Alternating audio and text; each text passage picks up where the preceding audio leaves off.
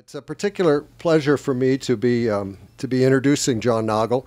Um, I first heard of John when um, when he was in one of his previous incarnations as a as an army officer, and I was in one of my previous incarnations uh, incarnations as a um, Pentagon reporter for the uh, for the Washington Post. Uh, and when I subsequently embarked on a, on a biography of Donald Rumsfeld, uh, John made himself available and shared some some very helpful insights and, and suggestions. Um, you know, people uh, choose to write memoirs at, at various times of, of their lives. Some, like like Lena Dunham recently, uh, chose um, chose to write uh, uh before she's even 30 um, uh, because she has, uh, I guess, something to say in a large, certainly a large receptive audience. Um, others, like Katharine Graham, wait un- until their, their twilight years and, and have a long life to reflect on. Uh, John, who's now in his um, late 40s, uh, has waited longer than, than Lena, um, but uh, not, uh, not nearly as long as, as Kay. And the important point is that he's, he's chosen a point in, in his own life from which to look back that, that does make a, a lot of sense. Uh, that's because he recently embarked on essentially his third career as a private school headmaster. Uh, in his previous two careers, first uh, in the Army and then uh, as a, um, a, Washington national security maven, John not only distinguished himself but also had a, had a great va vantage point on a defining period in the evolution of the U.S. military from, from a Cold War mindset to one more focused on terrorists, um, insurgents, and other less conventional threats. In fact, as, as John himself notes in the preface of his new book, Knife Fights, uh, his personal story in many ways coincides with this larger story of American military change. And, and as suggested by the book's subtitle, A Memoir of Modern War in Theory and Practice, John is especially well suited to talk about both the thought and the reality of the military's rather radical adaptation uh, because uh, he's been a quintessential uh, soldier scholar. The soldier part included leading a tank, tank platoon uh, in the Gulf War, uh, later assignments in Germany and at Fort Riley, and then a tour in Iraq as an operations officer uh, early in the occupation, followed by a Pentagon stint as military assistant to Paul Wolfowitz, who was then Deputy Defense Secretary under Rumsfeld. Uh, the scholar part uh, included West Point, Oxford as a Rhodes Scholar, and then a second stay at Oxford later to get a doctorate and write a thesis that compared the British and American counterinsurgency experiences in Malaya and Vietnam.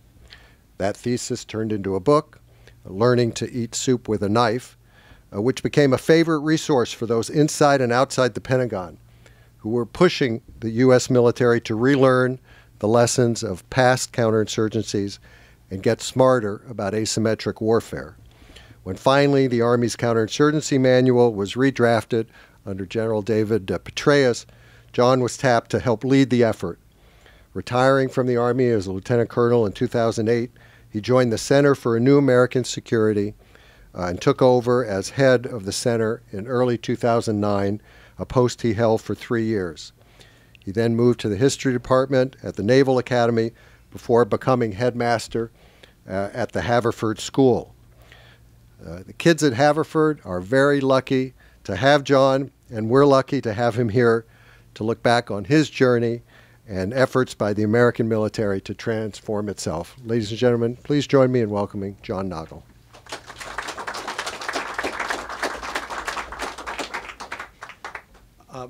Brad, thank you. That is the nicest introduction I've ever had. Um, the, the, the, standard joke is my mom would have believed it. My mom is in the room, uh, and she does, in fact, believe every word of it. I know better. Um, Brad's own work, uh, his biography of Don Rumsfeld by his own rules, absolutely the definitive treatment of Don Rumsfeld. There, is, there will never be a need for anyone else to write uh, another biography of Rumsfeld. Brad's work, absolutely exceptional, captured the man almost exactly from, from my own vantage point. Um, as, as Brad uh, mentioned, Uh, my book starts in Operation Desert Storm. It was a, a fascinating time to be a, a, tank platoon leader, a young tank platoon leader. I graduated from West Point in 1988.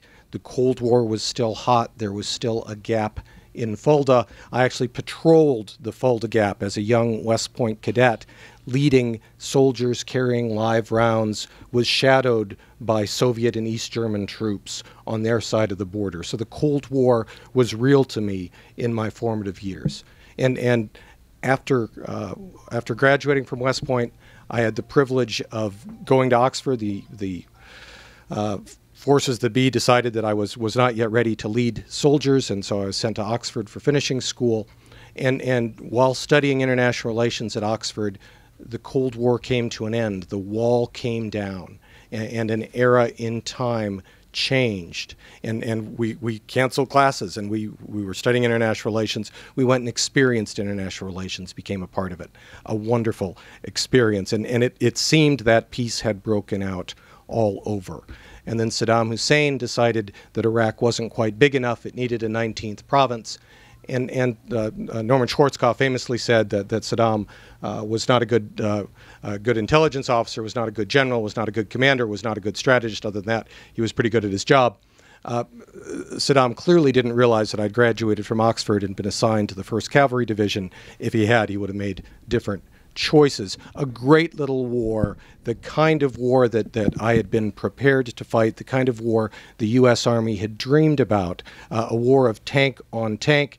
Uh, on a battlefield almost completely devoid of civilians, of, of anything that wasn't hostile, that wasn't uh, there to be hit with tanks. And, and, and so uh, we, we, took the fourth largest army in the world and turned it into the second largest army in Iraq in a period of 100 hours and and I went came back from that experience. The war ended on my 25th birthday. My platoon spanked me in a little celebration of being alive. I made the mistake of telling my gunner that, that it was my birthday. Never tell a tank platoon it's your birthday. There's a lesson there for young officers in the room. And, and, and I, I, thought that that's what war was. It was the kind of war I'd studied in the books at West Point, thought about at Oxford. And, and then a year later came, came a different kind of fight, a simulated fight at the Army's National Training Center in Fort Irwin, California. The Army plays laser tag better than anybody in the world. And, and we were preparing for another big tank on tank kind of conflict. I dug my tanks in. I was by now uh, uh, executive officer of a tank company of 14 tanks. And, and we were ready for the, the tank assault the next morning. We were perfectly prepared. And then, over the hills came uh, light infantry, actually Alaskan National Guard light infantry, carrying light anti tank weapons, targeting mortars, and they defeated a tank company. They destroyed every one of our 14 tanks in, the, in a fight we were not prepared to fight. And, and, and I came home from that experience and, and thought hard about what I had just seen and experienced and tried to understand why we'd been able to, to cut through the Iraqi army like a hot knife through butter, but had been defeated by a ragtag bunch of Alaskan infantry. And I decided that the future of conflict was going to look a lot less like Desert Storm and a lot more like those uh, lightly armed insurgents fighting us from directions we didn't expect in ways we weren't prepared to defeat. And so uh, after that experience, when the Army decided to send me back to graduate school to get my doctorate, because we all make sacrifices for national security, uh, I, I decided to look not at this kind of war, at the tank on tank kind of war, but at the kind of war that I'd just been defeated at, at a war against insurgents and terrorists, a war where no matter how powerful your punching arm is, if you can't find an enemy to hit, you're simply not going to succeed. And, and so at Oxford, uh, I studied the work of T.E. Lawrence, Lawrence of Arabia, uh, one of the most famous, uh, not counterinsurgents, but insurgents in history. He, he led an Arab guerrilla army against a conventional, in his case, Turkish army during the First World War. And he actually felt sorry for the guys he was fighting against. It was, it was comparatively easy for him to evade their blows and cause them enormous difficulties. And, and in fact, in his own book, Seven Pillars of Wisdom, A Triumph, Lawrence thought about the, the enemy he was facing and, and said, for them, war on rebellion was messy and slow, like eating soup with a knife. And I happened to be reading Seven Pillars of Wisdom in the bathtub. I'd just been for a run on Oxford's Port Meadow, for those of you who know Oxford, and was in the tub eating strawberries, drinking champagne. It's Oxford. It's what you do there, right? And, and literally came out of the tub and said, Eureka, I've found it. I have the title of my dissertation. And my wife said, That's nice, honey. Go put some clothes on. So, so uh, uh, seven words down, uh, 99,993 to go. And, and so to, to fill out those 99,993 words, I, I looked at the cases of the British Army in Malaya and the American Army in Vietnam. The Brits fought a counterinsurgency campaign in Malaya, what we now call Malaysia, from 1948 to 1960. And they started badly. Conventional armies tend to start badly when they're fighting insurgents. It's not what they're designed to do. They're designed to fight other armies that look like them. But the Brits adapted, they learned, and they ultimately defeated their insurgent enemies in the classic case of successful Western counterinsurgency in the 20th century. And it only took them 12 years. So when Lawrence said messy and slow, he wasn't kidding. And I compared the case of the Brits in Malaya with the American Army in Vietnam, which also started badly when fighting insurgents, as you would expect, which also adapted and learned as you would hope. But we didn't learn fast enough. When a great power loses a small war, it does so not because it runs out of tanks or fighter planes or soldiers, it runs out of national will. And that's what happened in Vietnam with enormous costs to the people of South Vietnam, to uh, the, the people of the region, the Khmer Rouge, came to power, I would argue, as a direct result of our failings uh, in, in Vietnam, and enormous damage to my own, our own American Army, which took a full generation to recover from the trauma of losing the Vietnam War. And so I argued in my doctoral dissertation that armies needed to be able to learn and adapt rapidly, and in particular, needed to be able to learn and adapt rapidly to the demands of fighting insurgencies because I predicted the very fact that America had this extraordinary conventional superiority over any conventional enemy that would try to fight it like this meant that future enemies of the United States were far more likely to fight us as insurgents and terrorists. And I got that doctoral dissertation done in 1997, and I am proud to say that it was the best, and I am ashamed to say it was the worst doctoral dissertation written on counterinsurgency in the 1990s because it was the only doctoral dissertation written on counterinsurgency in the 1990s. And so I thought there's a market here, there's a void, uh, and and um, uh, sent it off to to to to um, respected academic presses and and got um, respected um, rejection letters. Uh, in which they asked me why I was studying a dead subject and why I didn't study something that had some some some contemporary relevance to the national security environment. And it was only after the attacks of September 11th that I was able to get the damn thing published, uh, published under the title Learning to Eat Soup with a Knife. Having, having written the book, I then got the opportunity to do the research and was sent to conduct counterinsurgency in Al Anbar province of Iraq in September of 2003. The United States had decided to invade Iraq in uh, an unnecessary war. Even if Saddam had had an active weapons of mass destruction program, there is no reason he could not have been deterred. The Soviet Union had an active WMD program for decades, still does. It has been successfully deterred. States can be deterred by other states. It is only non state actors that we really need to worry about who are in possession of weapons of mass destruction. Never mind, we invaded Iraq in March of 2003 unnecessarily, but also badly. We had uh, intend we, we went in intending to topple Saddam Hussein's government, but had no plan for what we were going to do once that government was in fact toppled. We achieved the military objective, but had no idea what our follow on political state was going to be and we made grievous errors early in the occupation. In addition to an excessive use of force, we uh, made the, the, the, the, the critical error, perhaps the single most important error other than invading, was the decision early on to completely disband the Iraqi army and prevent them from uh, uh, ever again serving in positions of responsibility in Iraqi government jobs.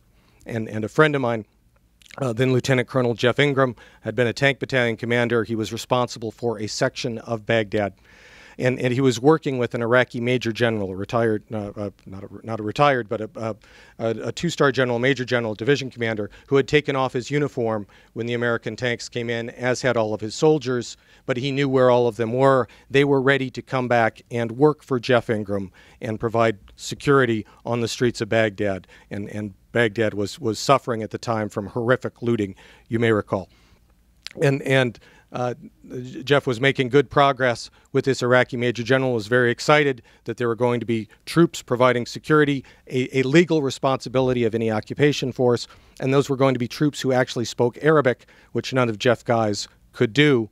And then Jeff got the order that the Iraqi army was going to be disbanded, that there were going to be there was going to be no cooperation between the United States and the Iraqi army, um, and, and that edict had come down from on high. And Jeff had to tell this Iraqi general that he was no longer going to be able to work with him, that he was not going to be able to employ the Iraqi forces to provide security on the streets of Baghdad. The Iraqi general, astonished, looked Jeff in the eye and said, You know that this means I will be fighting you tomorrow. Jeff said, I know. They stood up, saluted each other, and the next day the bombs started, uh, started going off in the streets. So, an unbelievably bad, self defeating uh, decision that absolutely poured fuel on the flames of, of it, what was at that point a still nascent insurgency. I wasn't yet in Baghdad. I was back at Fort Riley, Kansas, ironically, preparing for another tank on tank fight when, uh, at a critical moment in a multi million dollar exercise, before the exercise had concluded, we got the call to Endex, end the exercise my commander, uh, Lieutenant Colonel Jeff Swisher, was called into a classified briefing room. Uh, I knew immediately what was going on. He came out and said, Yep, uh, let's go. Uh, we're going to go to Iraq and, and, fight against the insurgency. We had no training in how to do that. We had not prepared how to do it. The only studies, uh, education I'd had in insurgency had been on my own at Oxford. The unit was horribly unprepared for the fight it was about to fight. We were sent to a particularly unsettled corner of Al Anbar province, Iraq, uh, the wild, Iraq's wild, wild west, currently under occupation, sadly, by the Islamic State in Iraq and Syria. More on that in a minute. Uh, we were responsible for a town named Khaldiyah, uh, a lovely little town uh, between the also lovely, slightly larger towns of Ramadi, the provincial capital, and Fallujah. So it was a pretty, pretty nice neighborhood. We actually bought property there. Uh, I was thinking when I got out of the army of retiring there, but but the school's better where I am now. So so we, we made a different choice, right? Uh, an enormously difficult fight. We we lost uh, over the course of the next year, uh, 23 fine young men killed in action, well over 150 wounded, and and by the end of our enormously difficult year of fighting we were no further ahead and were arguably further behind than we'd been when we started. And, and one of my battle captains made up coffee mugs when we got back to Fort Riley that said Iraq 2003 2004. We were winning when I left because we weren't, and we knew it. Uh, from Al Anbar, I was sent to an even more dangerous place, the Pentagon. Uh, uh, I went to work for Deputy Secretary of Defense Paul Wolfowitz. It was a big change, at least in Anbar. I'd had some idea who I was fighting against, and and I helped uh, uh I helped uh, Secretary Wolfowitz, uh, Secretary Rumsfeld, think about the war we were then fighting. And as part of that process, I became reacquainted with one of my old teachers, professors from West Point, a man named David Petraeus. Uh, Petraeus, I'd known initially when he was a captain in the Army. Even then, I'd, I'd seen uh, greatness in him. I predicted that he'd make full bird colonel for sure. Uh, and and uh, of course, he did a little better than that. Uh, uh, he came back from Iraq as a lieutenant general, his second tour in Iraq in 2005. And um, I, I, got a chance to, to talk to him in Wolfowitz's office, and I told him he was taking over Fort Leavenworth, the Army's center of thinking. and I advised General Petraeus that he needed to get to work writing a new U.S. Army counterinsurgency field manual. He told me that he thought that was a remarkable idea and that he knew just the guy to do it. Uh, as it turned out, uh, I became number two on the project behind a man named Conrad Crane, one of Petraeus's West Point classmates, a former history professor at West Point with a PhD from Stanford. Con Crane had written a prescient article uh, published in, in uh, 2003 before the invasion that recommended against the invasion that said that, that sectarian violence would almost certainly break out, that the occupation would be long, hard, and bloody. For his prescience, he was given the task of writing a new field manual uh, in, in a very short period of time. Uh, within a year, we turned the U.S. Army Marine Corps Counterinsurgency Field Manual. Um, it's a very short period of time to write an Army manual, uh, and we, we had the, the extraordinary advantage of, of working with the U.S. Marine Corps, uh, a, a, very rare doctrinal event, just because the Army and Marines fight the same enemy on the same battlefield with the same equipment at the same time in the same place doesn't mean they ever actually talk about how they're going to do that. And so the fact that the Army and Marines were collaborating on that was a, a, rare and an unusual thing. And we published the Army Marine Corps Counterinsurgency Field Manual on December 15th, 2006, while Iraq was in flames in full scale Sunni Shia civil war.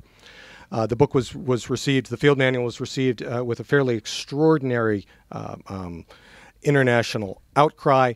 Uh, downloaded a million and a half times in the month after we hung it on the internet translated and critiqued on jihadi websites, copies found in Taliban training camps in Pakistan. So we knew our enemies were reading it. We just had to get our guys to do that.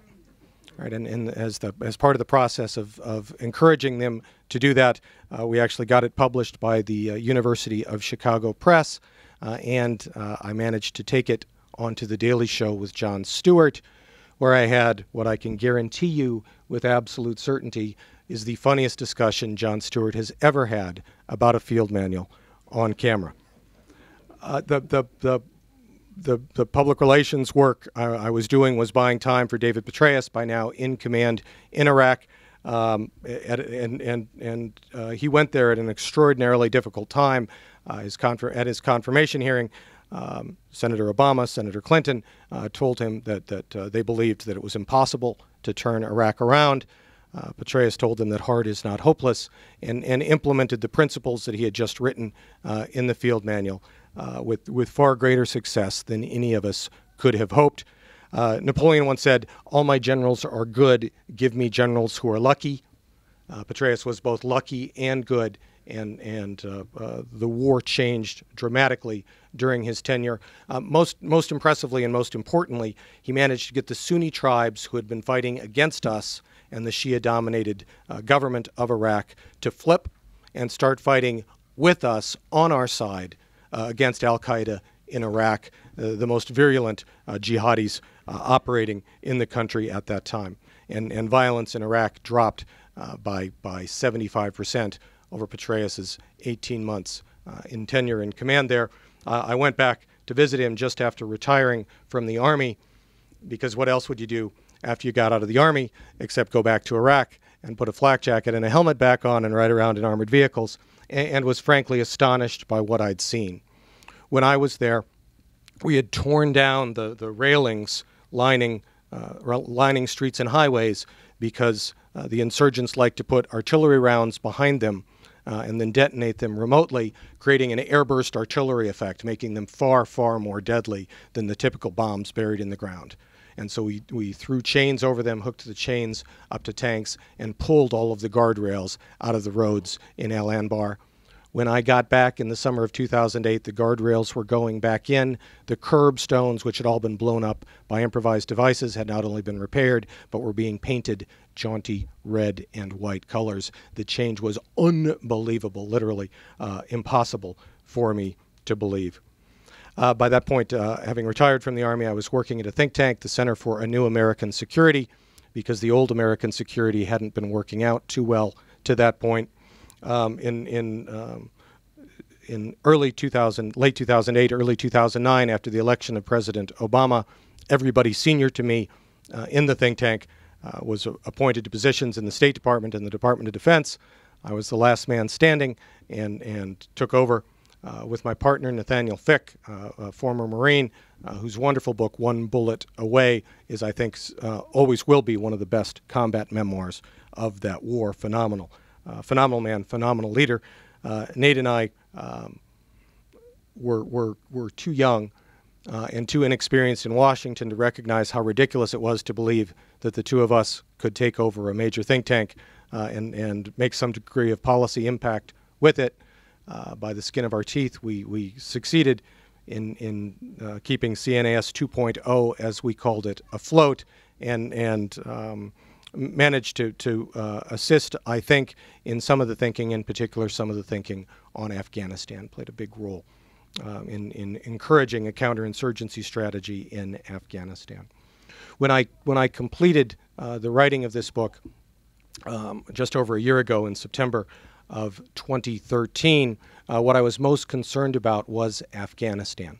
I, I believed that uh, the president was making decisions to withdraw too rapidly from Afghanistan, the same decisions he had made uh, about too rapidly withdrawing from Iraq. And, and part of my book is an argument in favor of a long term American security presence in Afghanistan. I, I think that the argument is much stronger today than it was when I wrote it because we've seen what happens when you pull American forces out of a still unsettled part of the world uh, that is subject to radical jihadi thinking and inspiration.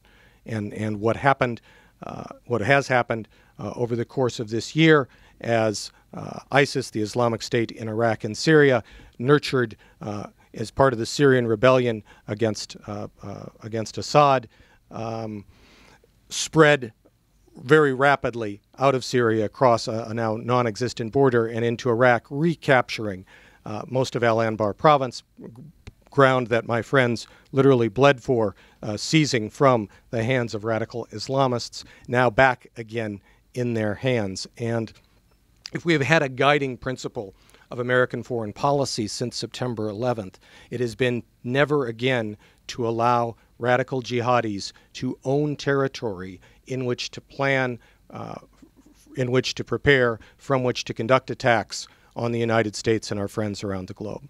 And, and um, that it was that idea that motivated the necessary war, in my eyes, in Afghanistan uh, in late 2001 that continues today. Um, the, the, the war in Iraq, unnecessary, but the results of that unnecessary war have now led to the worst possible outcome for the United States a, a very large piece of territory the size of the great state of Maryland uh, across Syria and Iraq, occupied by radical jihadis who are too violent to be a part of Al Qaeda. When you're too violent for Al Qaeda, you're probably going to present a threat to, to your neighbors and ultimately to us. Uh, the most worrying thing about ISIS to me is its information operations campaign. It is enormously effective. Uh, it is it is somehow recruiting young British women to go to Syria and join the jihad. It, it is it is jihad central right now. It is the most dangerous terror organization in the world for the United States. I am um, in favor of the president's desire to defeat and ultimately destroy ISIS. I think that he has the ways to do that correct. That is, uh, uh, American air power, American intelligence power, American logistics power in support of host nation, local troops on the ground. I am concerned that he is not providing sufficient means to accomplish that objective in anything like a reasonable period of time.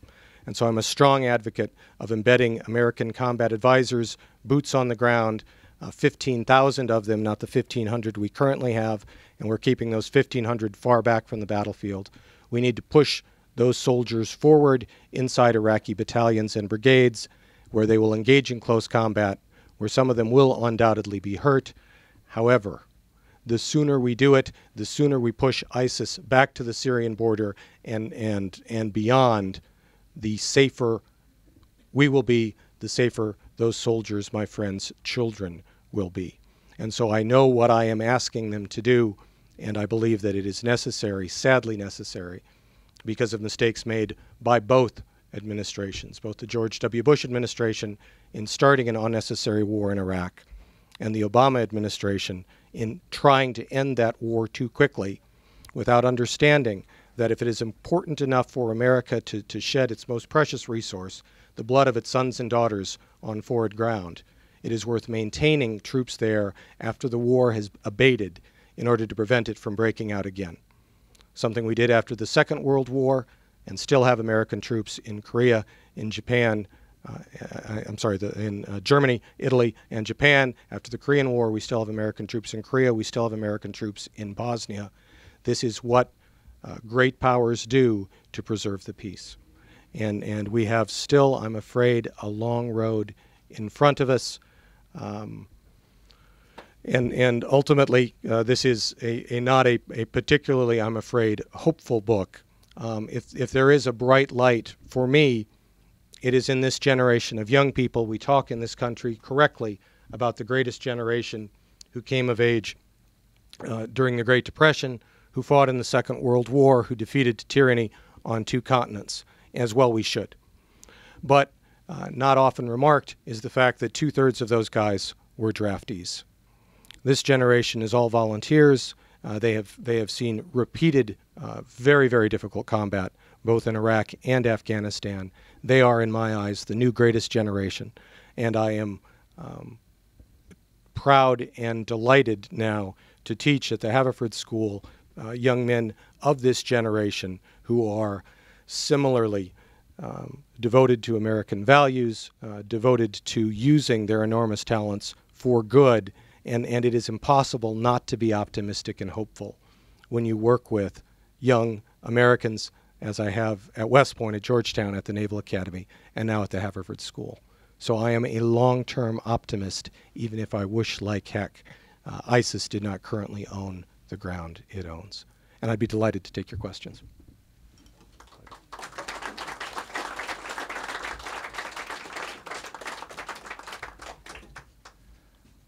Uh, Jim Bishop is my name. In your analysis of Iraq, you have given the Iraqi leadership a pass. Uh, one, why did we do such a poor job in training the Iraqi military? we certainly provide them with an enormous amount of material support, which ISIS is now using against us and others. Uh, why n- not a more severe critique mm-hmm. of their failure? Mm-hmm. Uh, great question. So the the failure to keep American troops in Iraq in 2012 and beyond um, did two things. It rendered the Iraqi army far less capable uh, it, it, it not particularly skilled in logistics and intelligence, in coordination of different arms. Uh, some some courage, particularly at the, the soldier, young officer level, uh, but but not great at the higher levels of war. And American advisors would have provided the Iraqi army with that in their fight against ISIS. Even more importantly, pulling all the Americans out yielded the most powerful lever we had against Iraqi Prime Minister al Maliki and, and allowed him to give vent to his worst sectarian impulses. So the, the central conflict in Iraq is between Sunni and Shia. The army, mostly Sunni, the government, uh, the majority of the people, Shia. Maliki was more afraid of a coup by the Sunni dominated army than he was of attack by ISIS. And so he took the most talented commanders in the Iraqi army and fired them and replaced them with cronies who were personally loyal to him but we were not good soldiers. And those leaders fled when ISIS approached.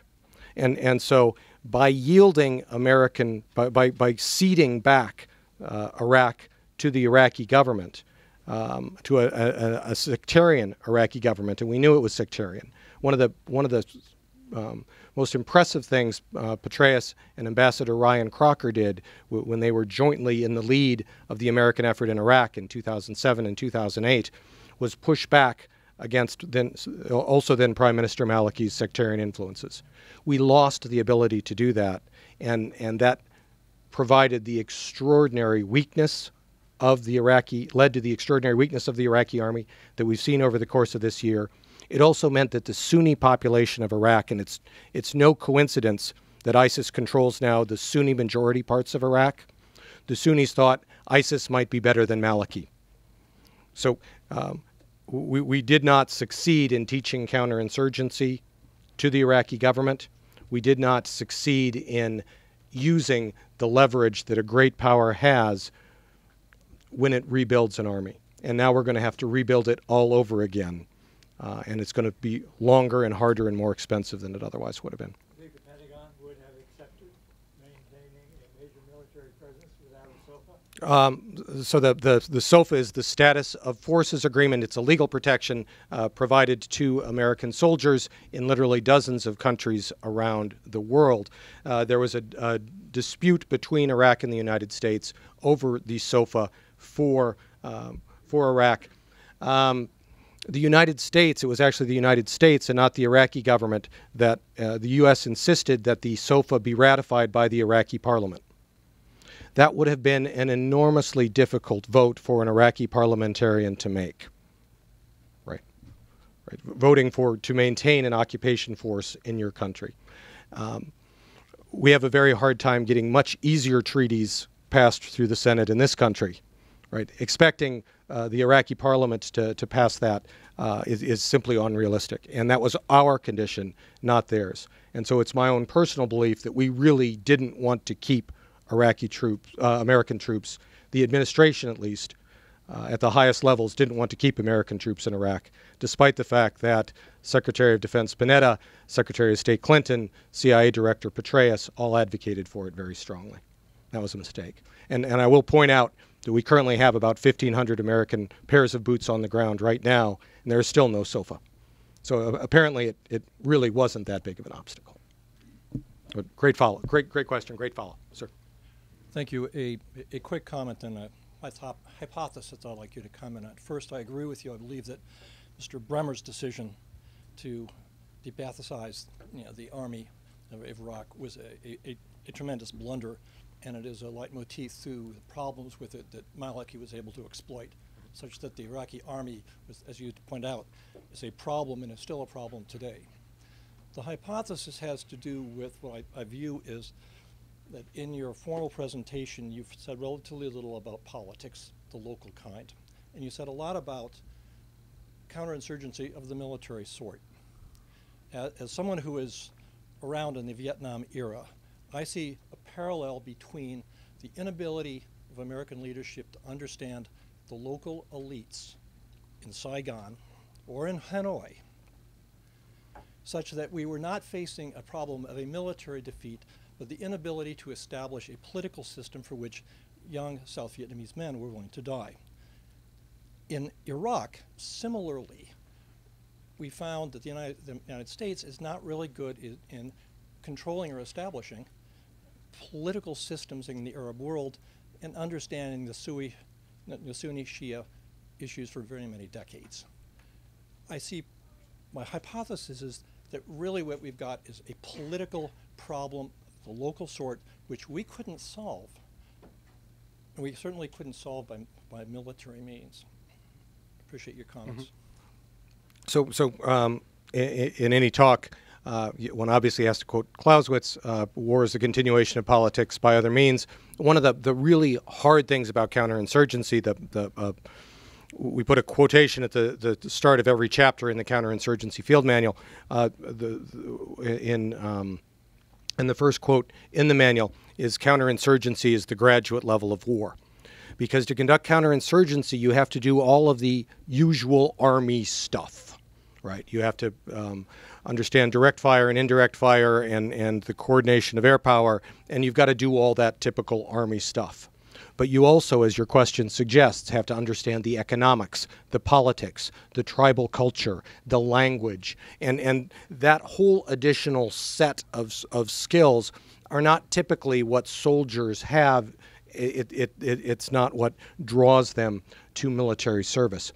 And, and in recognition of the fact that we're really, really bad at this, as you state, Secretary of Defense Gates started something called the Minerva Program to try to increase the cultural fluency of the U.S. military. And I was, was privileged to be the first Minerva professor at the U.S. Naval Academy in Annapolis uh, um, over uh, the 18 months before I became the headmaster of the Haverford School. So uh, we are making efforts. The Marines now require every Marine recruit uh, is assigned a language and learns that language through the course of his or her military career.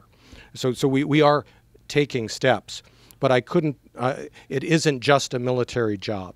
And, and one of the big mistakes we've made is that we have not invested sufficient resources in the civilian elements of power in the State Department. Uh, it, it, the, the a number is often cited. Uh, it, it, is, it is also true that there are more members of military bands than there are Foreign Service officers in the State Department.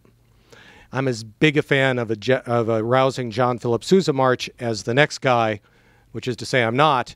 Uh, but I'm, I am totally willing to switch to iPods and, and give those resources to the State Department to build the cultural, economic, um, um, linguistic experts that our country is going to need over what promises to be a really messy century, I think, of these small, irregular, unsatisfying wars that are going to demand just the skill sets you suggest. We've got a lot of work to do. Great question. Uh, you mentioned, uh, well, your, your book is a lot about, your first book's a lot about Malaya. Your, your counterinsurgency proponents learn from Algeria, Vietnam. Uh, I would call these colonial wars, mm -hmm. even Vietnam. Uh, you talk of, you know, we should have we should have promoted counterinsurgency more strongly in Afghanistan. What is the difference between your concept of counterinsurgency, which does use extreme violence, mm -hmm. at the same time it uses social programs? Mm -hmm. uh, uh What's the difference between American counterinsurgency and British colonialism that's where you had to stay in countries for decades and decades? And I, you, you did mention Korea. Japan, we've been there for almost 70 years, mm -hmm. and there are people in Okinawa fighting our bases, mm -hmm. but we don't care about that because we want our bases there. That's what empires do, mm -hmm. not really democracies. Um, so the United, the United States is, of course, a very unusual uh, uh, empire in that it is a democracy. But the United States did assume the, the mantle of empire from Britain uh, in a peaceful transition. Uh, and, and does, as you, as you correctly state, have American troops stationed all over the globe. I believe uh, as an extraordinary force on balance for good uh, and as the enabler of the international economic system that uh, has led to the, the extraordinary rise in global living standards over the past 70 years. And, and in fact, one of the reasons I believe great power conflict, which was such a, a scar on the 20th century, right, with, with tens of millions dead in the First World War and the Second World War, uh, the, the incidence of great power conflict is declining. One of the reasons for that is nuclear weapons. One of the reasons for that, I believe, is the extraordinary conventional military superiority of the United States as a result of that superiority, uh, I think that we are much less likely to see wars like this, and that's a good thing. But I think for a number, that's the good news. Uh, there are also uh, a number of reasons why I think we're going to see much more of these small wars. Uh, and, and in some cases, the United States is going to support the insurgents, as we are half heartedly right now in Syria. Uh, in other cases, we are going to uh, be counterinsurgents, as we are in Iraq. That skill set is something we're going to need. We should draw upon the history of successful counterinsurgency campaigns, um, the, the American campaign in the Philippines at the turn of the last century, the uh, British campaign in Malaya, the French campaign in Algeria, all while understanding that the world is far different than it was. And so, as a student of the Malayan emergency, I am often asked what lessons we should draw from that fight for today. And, and my advice drawn from Malaya is if you're going to fight a counterinsurgency campaign, do it on a peninsula, against an easily visually identified group of insurgents and do it before CNN is invented, right? Because counterinsurgency has been around since the Roman Empire, but has become gradually less violent uh, while, while still retaining a focus on killing enemies when you can identify them. We're getting better at, at figuring out who they are, uh, in no small part through electronic signatures, like the ones that led us to Osama bin Laden, that, that in part led us to Osama bin Laden. So there are lessons of previous counterinsurgency campaigns. We need to hold on to those and learn from them because this kind of war is, is not only not going away, I think it's the most likely kind of war we're going to see in this 21st century. Sir. This bookstore had as guests the day after Obama gave his speech on uh, Iraq, uh, William Mullen and uh, Dan Green, who wrote a book on Fallujah Redux. Mm-hmm. They seem to have read all the same books you did and studied the previous campaigns, but th- there's an essential difference in that the opponent is a proselytizing religion that wants to proselytize at all costs. Isn't there a big difference there? Um, so, so um, Dan Green was nice enough to to review this book uh, actually this week, which I appreciated. Um, uh, smart guy with with good boots on the ground experience. So. Uh, as I mentioned, I think we were fighting uh, at least two different, actually, we were fighting dozens, but, but two major groups of insurgents in Al Anbar when I was fighting there. We were fighting Sunnis who were, nominate, who were, were motivated primarily by nationalism, in a lot of cases, uh, motivated by economics. The, so uh, in, in Al Anbar, when I was there in, in 2004, there were uh, weapons, lit- bombs, literally laying around in, in unguarded ammunition dumps. Uh, youth unemployment was 70%, and, and uh, there was lots and lots of, of Sunni money sloshing around. And, and so, an awful lot, uh, when, we, when we captured insurgents and talked to them about why they were fighting us, we, we often learned that they were doing it as a job, as a paid job. Uh, they would, they would uh, uh, be paid $50 to fire a rocket propelled grenade at one of our tanks, right, and got a performance bonus if they made us call in a medical evacuation. Right? And, one of the one of the metrics we tracked was how much did they have to pay to get somebody to do that. The price went up over time as we demonstrated that that was not a career with long-term prospects, right? So, but but those were those were not radical jihadis uh, as Al Qaeda in Iraq was. And, and so uh, I, I think of insurgency as an onion. And, and the outer layers, which can be peeled away, are economic insurgents or nationalist insurgents who, who you can co opt politically or economically. But as you get further down toward the core of the onion, you're going to find the radical jihadi insurgents who need to be captured or killed. They have to be removed from the battlefield. You're not going to change their mind. And those are that's core Al Qaeda that's core ISIS. But I, th- I, think we need to understand the different motivations and the varieties in motivations. And this goes to uh, the earlier question about the, the requirement to have real cultural, anthropological, and historical skills as well as military skills when you're fighting these fights. Sir. Um, yes. Uh, first, that's a good call mentioning the Philippines. Uh, you know, I was kind of uh, I wrote an undergraduate thesis on that. Just a good call right there. Uh, the other, the, but the main question I want to ask was. Um, about Army doctrine and thinking of counterinsurgency. After the Vietnam War, it seems that uh, the Army's uh, Army sort of ignored counterinsurgency and didn't pay much attention to it and had to relearn a lot of it. In the Iraq and Afghanistan war, do you think that the Army is going to retain a lot of its uh, counterinsurgency doctrine after these, since these wars are kind of winding down? And especially, do you think that they're going to maintain the uh, doctrinal knowledge to do sort of the big army counterinsurgencies like Iraq and Afghanistan, as opposed to the smaller kind of like things that went on in Colombia like a few years ago or the Philippines. You know, do, you know, do you know what I mean? Absolutely, absolutely. Great, great, great question. It, and and uh, uh, betrays a, a, knowledge of history. Where was your undergrad? Uh, Transylvania University. It's a small uh, liberal arts college in Lexington, Kentucky. Awesome. Uh, so, so uh, a, a, good foundation in military history, which will serve you well. Um, the uh, United States military uh, in general, the U.S. Army in particular, in the wake of the Vietnam War, decided we were never going to fight that kind of war again. And, and having fought both kinds of wars, a conventional tank on tank kind of war and a war against insurgents, I absolutely understand the sentiment. Uh, if, if I got to choose, I'd do this one 100 times out of 100. Right? The problem with the Army's decision is that the enemy gets a vote. And no enemy, no sane enemy, no rational actor is ever going to do, let the United States do this to it, as the Iraqi army did uh, in, in, my first war in Desert Storm. And, and so uh, the decision we made uh, to literally burn the books in the wake of the Vietnam War on counterinsurgency left us grossly unprepared for the wars of this century. And we had to relearn those lessons at enormous cost in blood and treasure.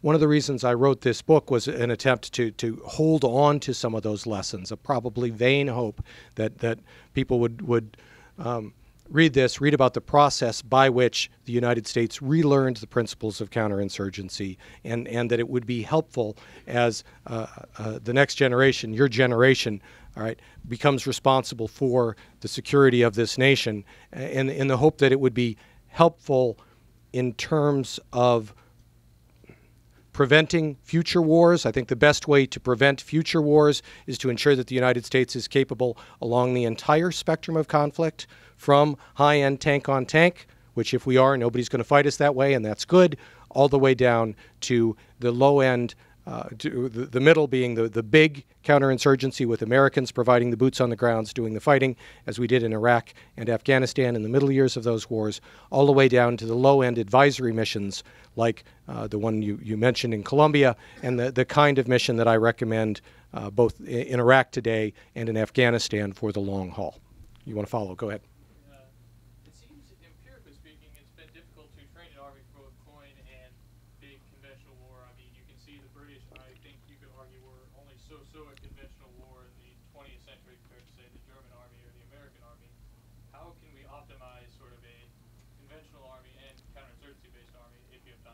I, I think your, your, question is, is correct. It's a very different skill set.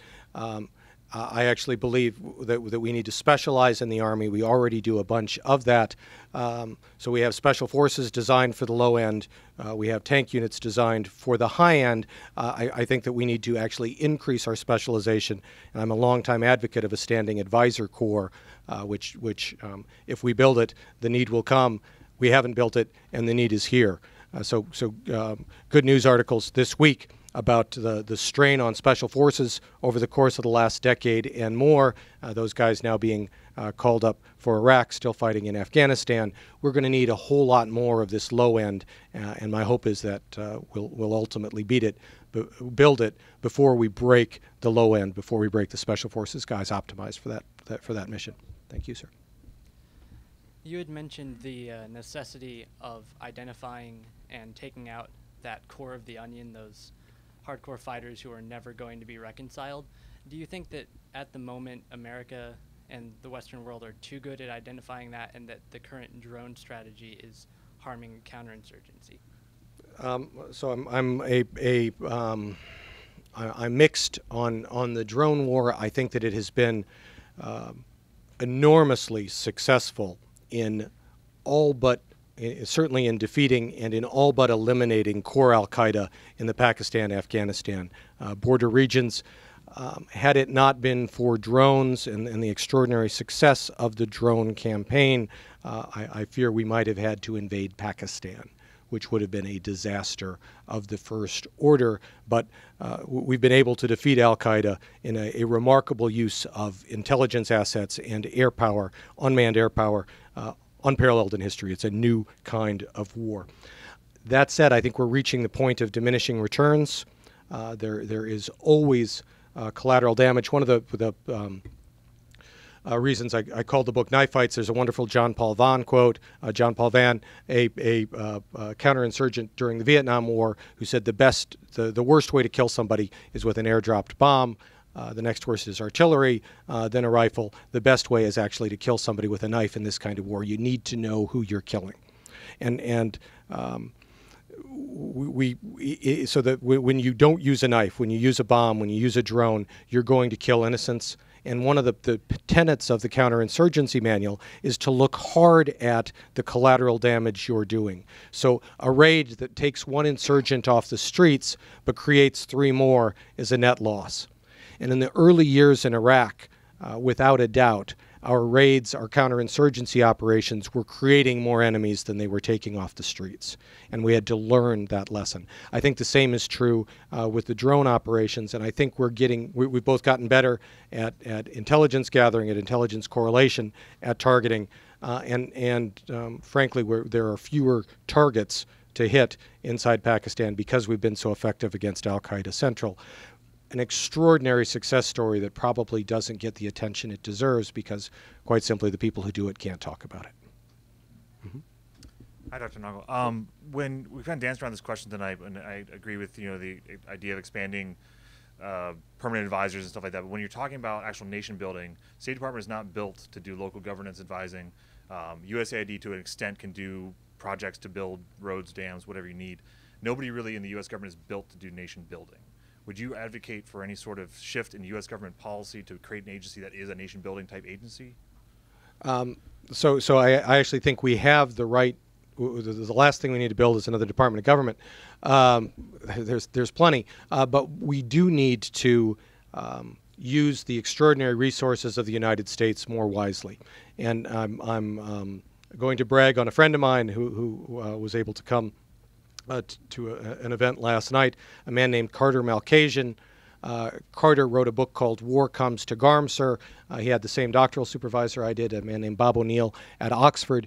Carter, um, uh, after multiple years in Iraq as a civilian State Department advisor to the military, uh, went to Afghanistan and spent a number of years there, uh, taught himself Pashto and Urdu, and, and really understood and influenced politics at the local level and, and was, was a, integrated uh, both with the military and with the local culture and was able to serve as that kind of bridge. We need, we need 10,000 Carter Malcasians. We need people who have the language skills, the cultural affinity, and the extraordinary courage and willingness to endure hardship that Carter Malkasian has shown over the last decade and more of war. This is an extraordinary country. We have people like that here. We need to find them.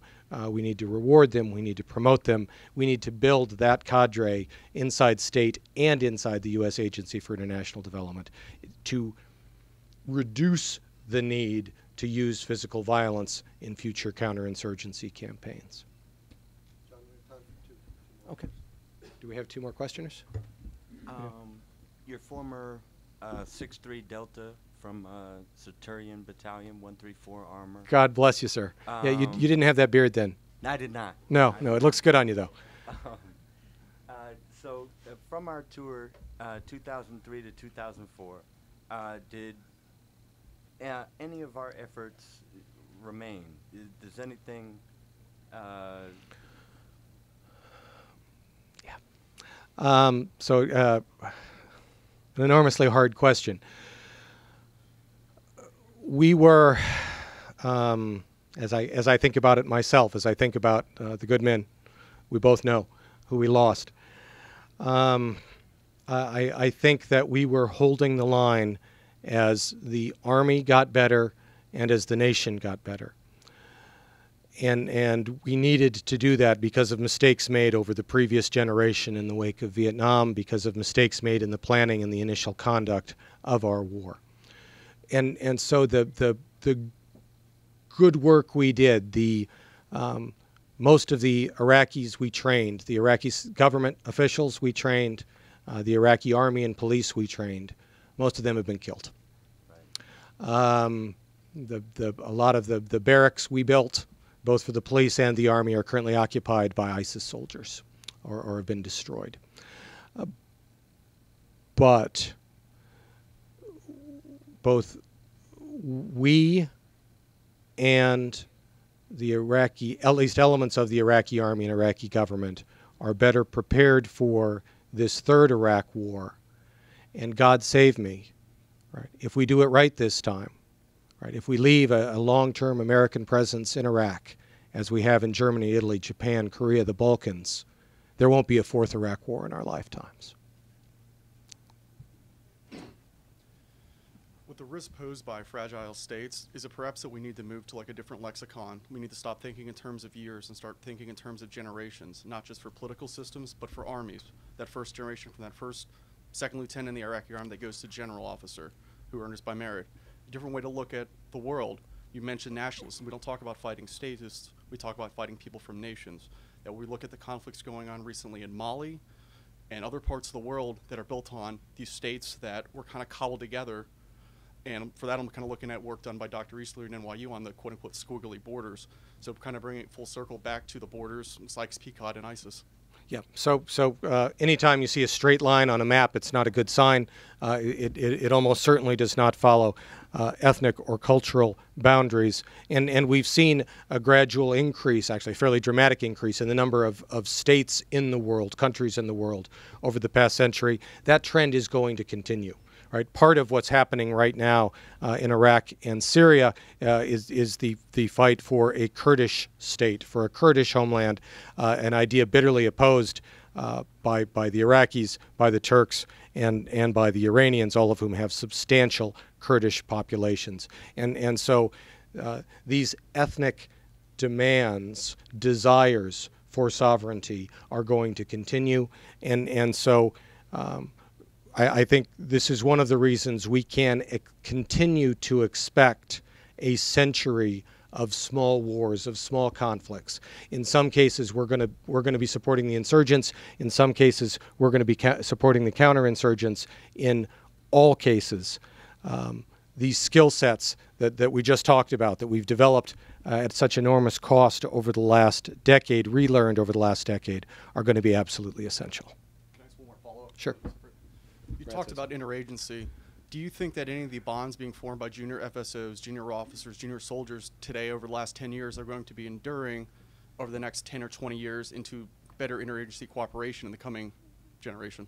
Uh, this is a, a, another hopeful sign, right? So the further you get away from Washington, the better the interagency works.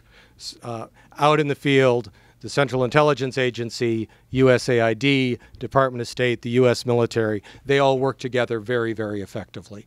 Um, one of the reasons I'm hopeful that we're not going to burn the books this time is that we've got this whole generation of, of young men and women, great young Americans, who have, have worked together in conditions of extraordinary scarcity and hardship, uh, showing extraordinary personal courage, who have learned that cultural affinity and cultural understanding and, and an awareness of the economics and of religious uh, differences and beliefs is all essential to building the stable world that we all want uh, and that we want our children to grow up in.